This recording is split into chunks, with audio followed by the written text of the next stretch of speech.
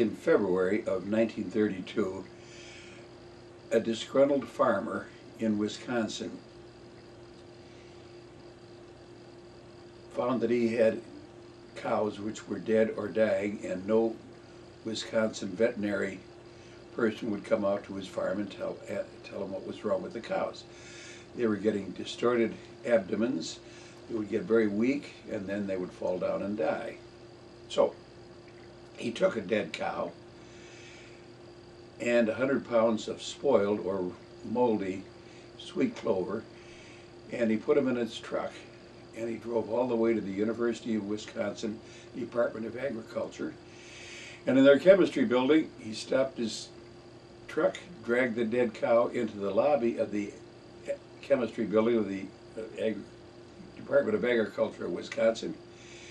And he said, here, you solve the problem of my dead cow with the bloated stomach. Well, it stayed there in the lobby for a couple days. You could always step around a, a dead cow, but after a while they said, we better really dispose of the dead cow. So they called the veterinary pathologist in Wisconsin. He examined the cow. He found out that the cow had died of anemia. That is, it had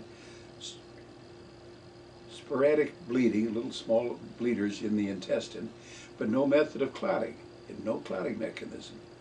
So what was wrong with the cow's blood that it didn't clot? Well, they examined the 100 pounds of spoiled sweet clover and they found out that the mold in the spoiled sweet clover gave off a chemical. And the chemical, when ingested, kept the animal from making clots. It was an abnormal clot making mechanism. Well, they discovered it, they got a patent for it, and then they sat around and they said, what in the world do we do with something keeps people from, keeps cows from making clots? Well, said, one guy said, why don't we call it rat poison?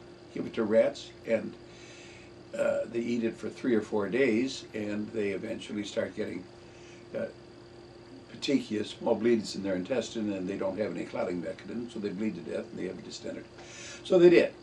And because it was funded by the University of Wisconsin Alumni Research Fund, they used the acronyms from that word. Wisconsin Alumni Research Foundation, they gave the term warfarin. Warfarin is still used as rat poisons. That was in the, 34, they started using warfarin as rat poison.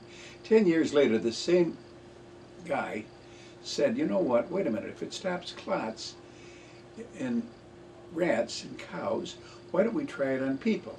We will mix it with aspirin and in small doses people start taking on a daily basis and they do no longer get clots in their coronary arteries or in their cerebral arteries in the head.